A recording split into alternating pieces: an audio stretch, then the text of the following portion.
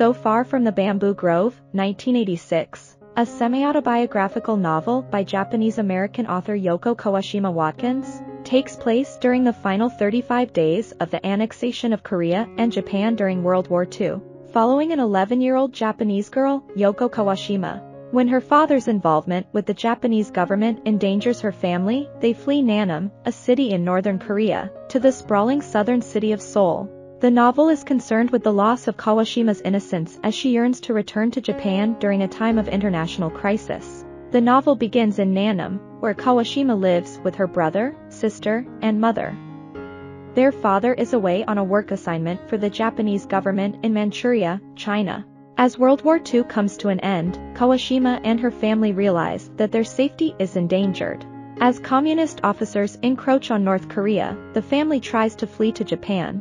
Kawashima's brother, Hideo, stays behind at the last minute due to a work assignment at an ammunition factory. Thanks to a letter from a friend in the government, Kawashima and her mother and sister are able to take a train to Seoul, however, due to a bomb, the train crashes en route. Kawashima is hurt in the blast, the train's occupants are forced to walk the remaining 45 miles to the city. In Seoul, Kawashima receives medical treatment before the family proceeds to Busan via another train. From there, they take a ship to Japan. Kawashima and her mother and sister make it to Fukuoka, a city in Japan. Kawashima is disheartened to see that it is not the beautiful city she had envisioned would await her family at the end of their arduous journey. In Fukuoka, Kawashima and her family live in a train station, subsisting off found food scraps and other supplies. Kawashima's mother goes to Kyoto to look for the rest of their family. Finding the city emptied out from the war, she goes to Aomori to look for her grandparents. Upon arriving, she learns that they have died. Kawashima and her sister await their brother, who is somewhere else in Southeast Asia.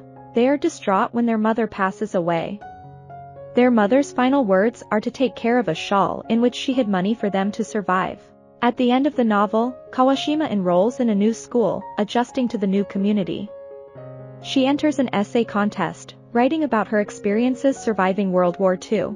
She wins the contest. The award includes a cash prize and a feature in the local newspaper. Kawashima's brother says goodbye to the Korean family who took care of him and makes it to Busan. There, he finds a message left behind by Kawashima detailing their intended destination. He makes his way to Japan and sees several signs on the streets looking for him.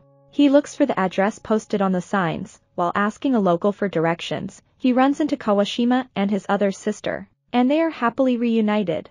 So Far from the Bamboo Grove chronicles a trio of siblings struggle to keep their family together and retain a sense of home, depicting their loss of innocence along the way. Ultimately, the children survive the loss of much of their family, emerging from World War II hopeful for the future of Japan.